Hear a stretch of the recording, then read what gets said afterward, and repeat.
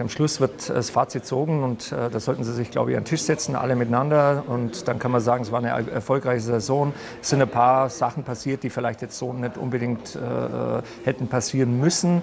Weiß auch nicht, ob, äh, Aki Watzke hat es ja auch gesagt, ich glaube, dieses Interview ist eigentlich auch nicht dann geführt worden, wann es rauskommen ist, sondern wesentlich früher.